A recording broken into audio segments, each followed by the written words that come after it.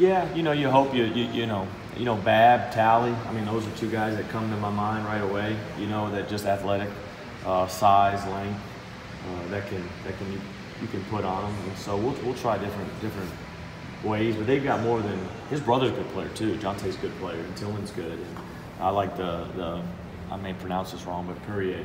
I like uh, I like Kevin's game a lot. He, he brings a lot of toughness, and and they've got a couple guys. Uh, you know, Robertson, the transfer from uh, Canisius, and uh, Barnett can really shoot the basketball, and so uh, I mean they've got they've got more than just Michael Porter, though he's the he's the headline guy. When you guys kind of hunkered down in the middle of the summer before that July period and figured out what you wanted to do with this recruiting process, is this the ideal? Is this everything that you had pictured? Oh, it was good. You know, our staff did a great job, um, but the university did a great job, really, because we were able to get guys here, and, and Matt's having great success over in football. So the football environments were terrific for, for weekends, and and then the, the people that they meet with, everybody played a really big part in this class, um, and that's what makes this this place really special. Um, yeah, it was it's good to get you know Ford High School players in our program as, as you know we continue to kind of you know restock and get more guys in here. But you know, obviously all four of those guys were guys who went after hard and wanted, and you know, so it was great. Our guys did it.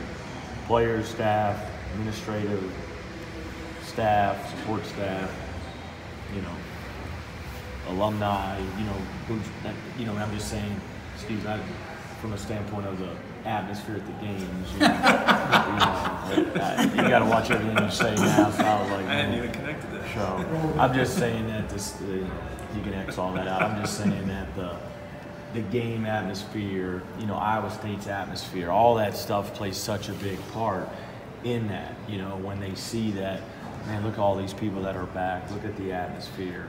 Uh, that's huge, and that's why I think you got to really do a great job in the fall recruiting. Between 2017 and now 2018, does it feel like you have that foundation set now for the future of, you know, you talked about how between Monte and Solomon there was nobody. Does this feel like that yeah, I think that so. up? It's just we, we, we were, you know, we got a couple kids sitting out, which is great. Mario and um, and Mike. You know, we've got obviously a lot of kids that will be returning. Um, you know, I like the three freshmen we've got out there right now: Cameron, Terrence, and uh, Lindell. And then you add another really good group with Taylor and, and Ty and, and Zion and George. Um, so we're, we're, we're excited. We're excited. But our focus right now is on these 12 guys. We got to get better this year.